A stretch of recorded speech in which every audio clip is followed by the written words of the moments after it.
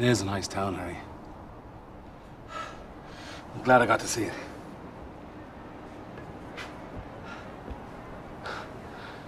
I didn't mean to be taking the piss out of it being a fairy tale place. It is a fairy tale place.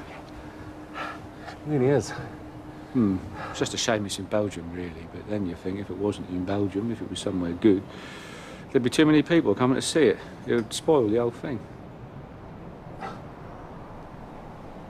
Uh, I'm glad I got to see it. Before I died.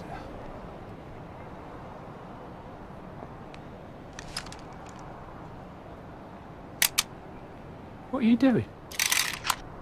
What are you fucking doing? I'm not fighting anymore, Harry.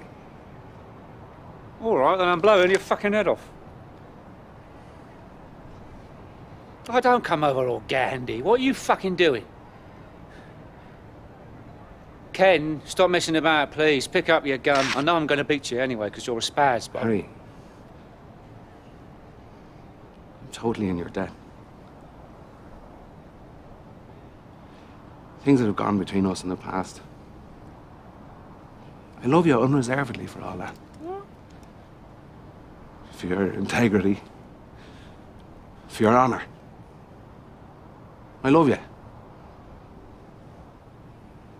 The boy had to be let go. Boy had to be given a chance. I have to do that.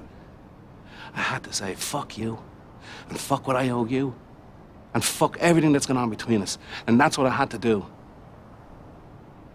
But I'm not fighting you. And I accept totally everything you've got to do. I accept it. Totally. Oh, yeah? Yeah.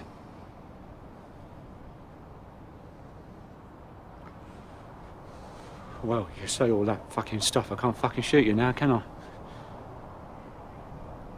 It's entirely up to you, Harry. It's entirely your call. All I'm saying is, I'm not fighting.